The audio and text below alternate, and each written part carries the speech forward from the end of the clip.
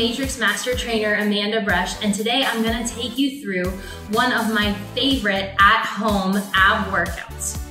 So today we're gonna start by focusing on our lower abs, and then we're going to transition into a series of planks in order to work your entire core, including your lower back. Before you begin this workout, it's important that you warmed up for about three to five minutes and if I were you, I would find either a yoga mat or a blanket to put on the floor for your comfort during this workout. As we begin, what I want you to do is focus on engaging your core so that your lower back stays flat on the ground the entire time. This is super important during our lower ab workout. So lying back on the ground, our first exercise is a reverse crunch with a leg extension at the bottom. You're going to lift your hips up off the ground and then extend your legs out. Lift your hips off the ground and extend your legs out. The next exercise we're going to do is a leg lift.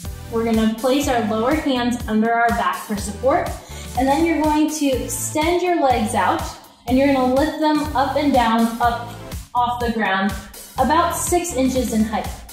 If this feels not great on your lower back, you can lift them up higher off the ground for support. Remember to keep breathing. And if you need to, lift them up higher to protect your lower back.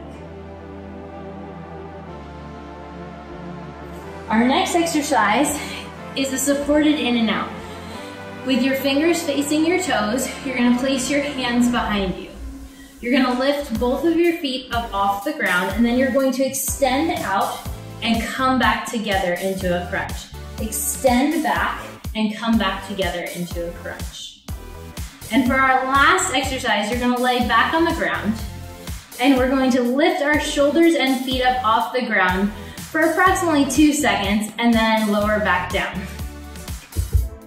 You're gonna lift up and back down. Lift up and back down. Up and back down. You're gonna complete each one of these exercises 10 times, so 10 repetitions of each exercise three times through. And then we're going to move to our plank sequence. So coming into your plank position on your elbows, Feet extended back behind, back nice and flat. We're gonna hold here for one minute. Directly from here, you're gonna transition into a side plank with either your knee on the ground, your feet staggered or stacked, shoulder right over your elbow, and hold on one side. Then you're going to transition to the other side. Again, same thing, knee down. Option of staggered feet or stacked feet.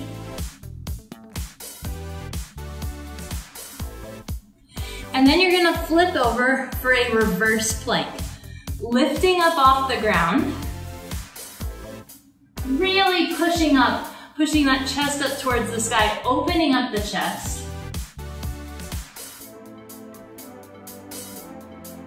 And then our last plank, we're gonna add some movement. So you're coming back to the front, plank here, lift up, and you're gonna press up to your hands and then come back down to your forearms, switching sides as you go.